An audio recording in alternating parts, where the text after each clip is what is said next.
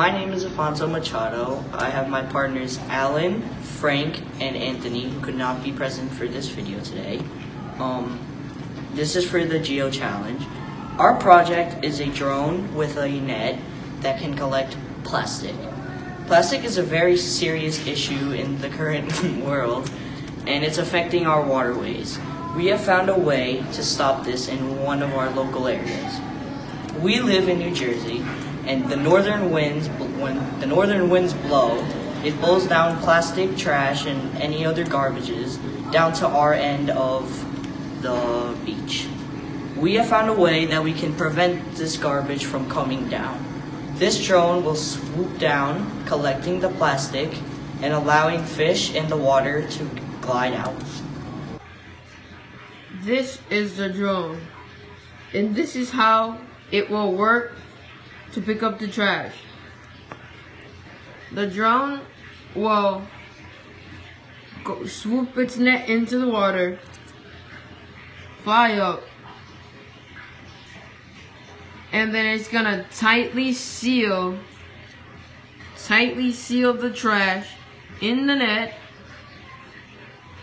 so that no pieces of trash, no matter how sharp, The trash will then be collected and brought to factories where it is recycled. Now to explain more as to where this plastic is all coming from. Landfills up north in Staten Island, New York, will usually be blown into the ocean from the northern winds. This will then make the plastic come down to our beaches. This will be a major problem for anyone at the beach in the water.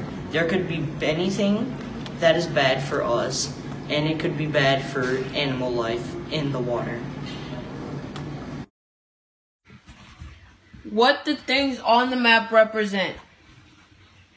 The red circle over here represents Ocean Township. The yellow lines represent the roads. The green represents large bodies of land. The blue is water.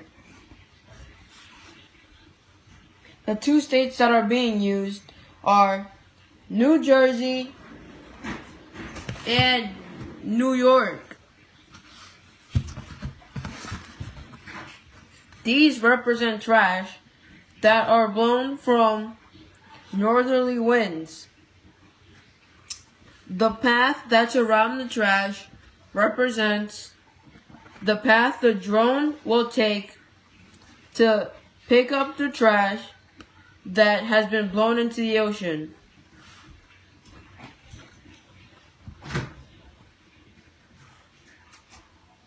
The drone will come from. I don't need to do that. Edit that out, edit that out. The arrows represent the wind blowing the trash into the ocean.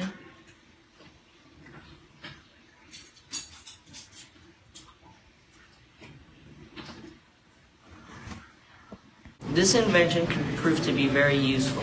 It can see you can see how the trash would be collected and it would help out animal life and human life in general. Plastic is a major problem in our in our communities around the world. We need to put an end to this now.